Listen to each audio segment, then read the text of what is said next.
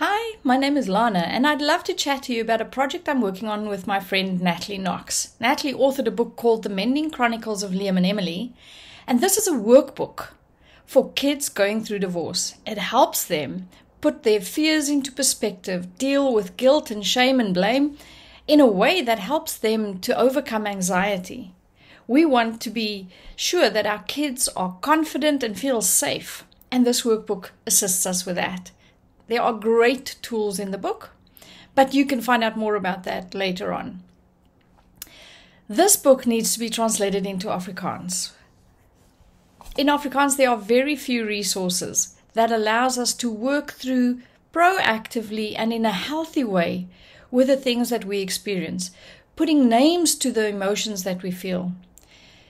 Kids often, when they get frustrated and they cannot verbalize what they're experiencing or thinking, act out. And we want to give them tools so that they are not ne- needing to do that, but they can process in a healthy way and we can become closer as a family. I hope you'll join us and donate.